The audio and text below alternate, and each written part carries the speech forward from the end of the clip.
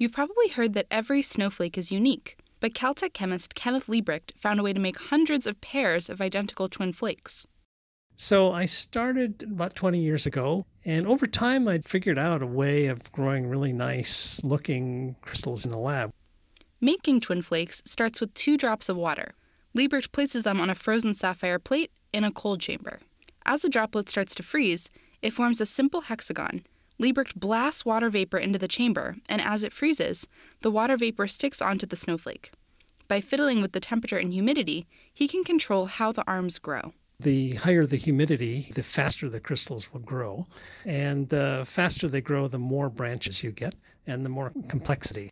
Since the flakes experience the exact same conditions, they grow the same way. So, if Libbrecht can make twin snowflakes in the lab, could nature make an identical pair too? Short answer unlikely. During a snowstorm, water droplets pass through hundreds of microclimates as they tumble through the sky. It's basically impossible for two snowflakes to experience the exact same conditions.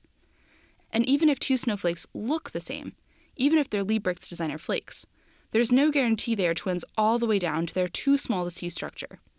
Inside each water droplet are billions and billions of water molecules, each made of one oxygen and two hydrogen atoms. But the number of neutrons in those atoms varies.